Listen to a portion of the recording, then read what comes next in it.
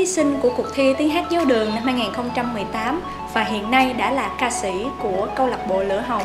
Kim Ngân xin kính gửi lời cảm ơn chân thành và sâu sắc nhất. Trước tiên, con xin cảm ơn cha sở, cha quản lý Tân Định đã tạo mọi điều kiện để cho cuộc thi tiếng hát giáo đường được diễn ra một cách thành công tốt đẹp và hiện nay đó cũng là nơi sinh hoạt của câu lạc bộ Lửa Hồng. Mỹ Kim xin được gửi lời cảm ơn đến ban tổ chức chương trình đã rất vất vả trong suốt thời gian cuộc thi được diễn ra. Đầu tiên là ban giám khảo, tiếp đến là ban tuyển sinh, có các cô chú như cô Hoàng Thanh, chú Lê Tiến Sĩ, chú Thanh Dũng, chú Trần Mạnh Cường, vân vân.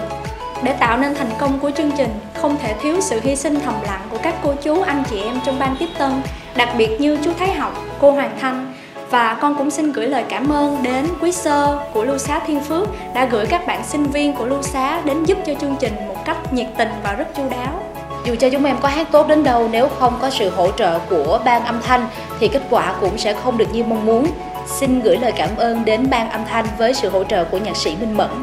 Đến với cuộc thi tiếng hát giáo đường, chúng em còn có cơ hội được làm việc với ban nhạc Nụ cười Giêsu do nhạc sĩ thạc sĩ Vũ Đại Dương làm lead band và chính nhờ sự phối hợp ăn ý tuyệt vời của ban nhạc mà những tiết mục của chúng em trên sân khấu được tỏa sáng và thăng hoa. Cảm ơn hai MC Minh Khoa và Đông Quân với sự dẫn dắt, nhiệt tình và dí dỏm của hai anh chị, đã phần nào làm cho thí sinh tự tin và giảm bớt hồi hộp căng thẳng hơn. Em xin cảm ơn anh Đức Hữu trong ban ánh sáng. Xin cảm ơn chú Thanh Tùng và ekip studio Xuân Bắc của ban quay phim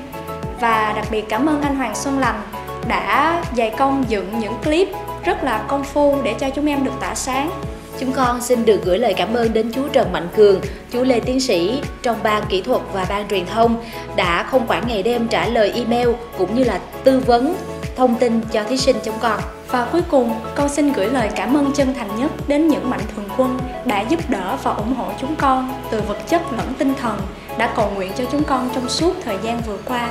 Và đặc biệt, con cũng xin cảm ơn cha Nguyễn Sang và các cô chú tại Ba Dòng đã tiếp đãi chúng con rất nhiệt tình và chu đáo trong những ngày tĩnh tâm và hành hương tại đây. Sau cuộc thi tiếng hát giáo đường thì chúng con vẫn nhận được rất là nhiều sự giúp đỡ từ các mạnh thường quân về mặt vật chất. Cụ thể là hoạt động của nhóm được duy trì trong suốt năm vừa qua và chúng con đã có cho mình những bộ đồng phục rất là đẹp. Chúng con xin cảm ơn, xin Chúa chúc lành trên tất cả quý vị.